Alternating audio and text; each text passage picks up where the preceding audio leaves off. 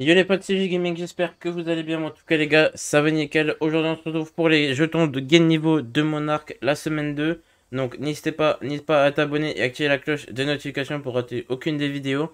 N'oublie pas aussi de liker et partager à tous tes potes pour les aider à trouver du coup les jetons. Parce que des fois, c'est un peu compliqué, même si c'est affiché sur la carte. Je vous fais quand même des vidéos. Je sais que ça peut peut-être servir à certains qui pensent pas directement à regarder les sur, euh, sur la carte.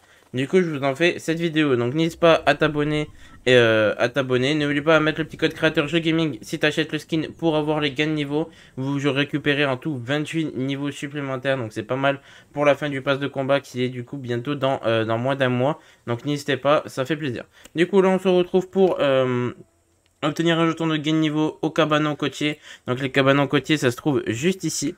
Hop, vous avez votre jeton, vous le prenez et vous avez du coup votre niveau en plus. Voilà, j'espère que cette vidéo, les gars, vous aura aidé et aura permis de, euh, vous aura permis de récupérer votre jeton. Moi, je vous dis à la prochaine pour une nouvelle vidéo. Reste à l'affût parce qu'il y a d'autres vidéos qui sortent. Ciao, ciao.